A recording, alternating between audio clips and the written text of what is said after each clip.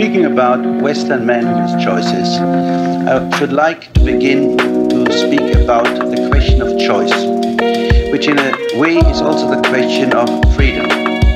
Does anyone have the choice to decide between life and death, peace and war? And to what extent does man have the freedom to make